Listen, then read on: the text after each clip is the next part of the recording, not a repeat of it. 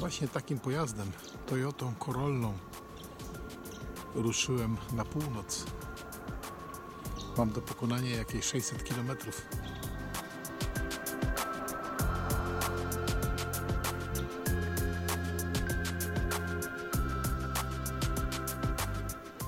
To jest po prostu parking. Wygląda jako ozdoba choinkowa świeczka. A to po prostu odmiana szyszki.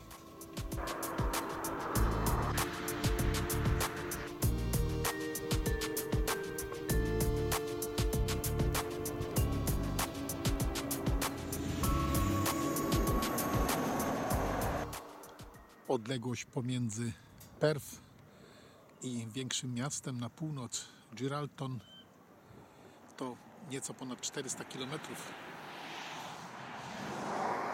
Teren pobliżu Perth to praktycznie wille i przedmieścia, później busz australijski, w końcu całkiem niskie chaszcze, bardzo suche, mimo że jest początek pory deszczowej. Ciekawostką w Australii są takie pociągi drogowe. Takie jak tam. Mają długość do 36,5 metra i potrafi taki jeden ciągnik, długi ciągnik, ciągnąć jeszcze dwie przyczepy. W pobliżu Northampton okolica staje się pustynna, prawie stepowa, wysuszona na wiór, mimo że jest początek pory deszczowej. Mam również mapę, na której pokazała mi się prowincja Hatton River. Ta prowincja, w zasadzie ten teren, który faktycznie jest małym państwem, jest dzisiaj celem mojej wizyty.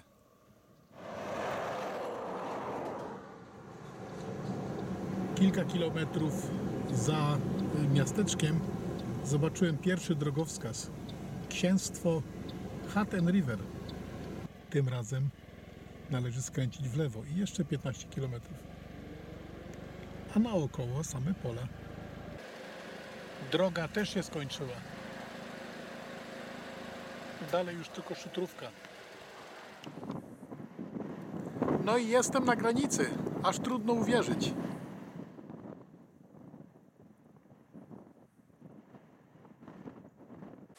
Stolica księstwa Hat River, Nine.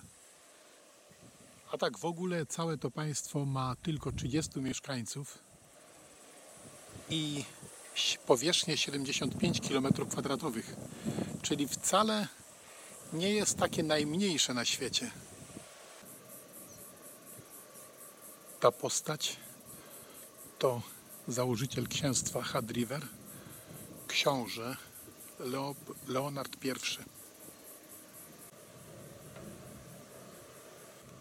Symbol państwa Had River. Księstwo Hat River powstało 21 kwietnia 1970 roku.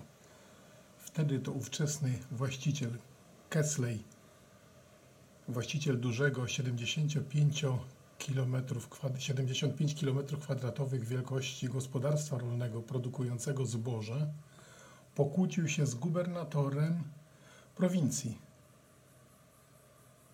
Skutkiem, skutkiem, skutkiem tego było powstanie własnego państwa. Casley postanowił utworzyć własne państwo i jak na razie 40 lat udaje mu się samodzielnie rządzić. Posiada wszystko własne pieniądze, nawet paszporty. Liczba obywateli 30, ale ponad kilkanaście tysięcy obywateli poza granicami kraju, gdyż państwo to sprzedaje paszporty. Proszę uprzejmie, jest budynek rządowy, poczta. Są także znaczki Had River. W urzędzie pocztowym nie miałem okazji trafić na księcia Leonarda, ale trafiłem na jego syna, Ejena. Książę Leonard ma czterech synów i trzy córki można tutaj kupić pieniądze, dolary Had River oraz znaczki. Takie jak tutaj.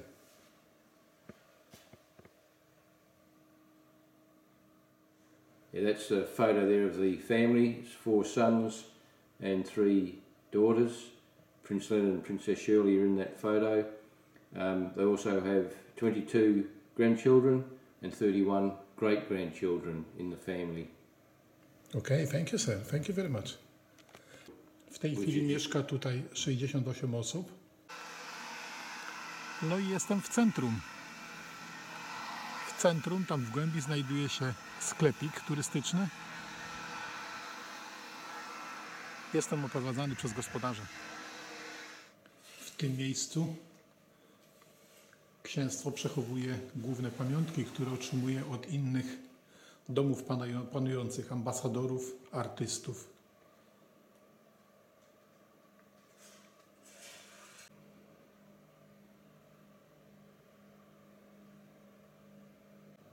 Widzę również kilka pamiątek z Niemiec.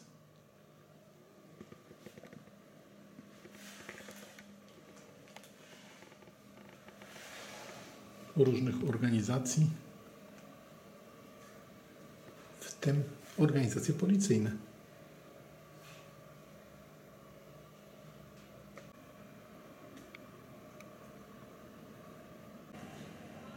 Zauważyłem również pamiątkę z Polski. Jak nie wierzysz, popatrz sam. Tak wygląda paszport.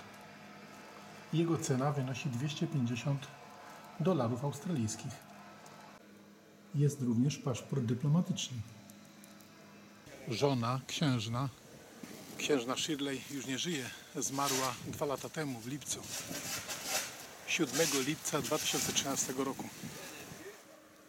Ten dom jest miejscem zamieszkania ojca, księcia domy mieszkalne i zabudowania gospodarcze znajdują się również w innych miejscach.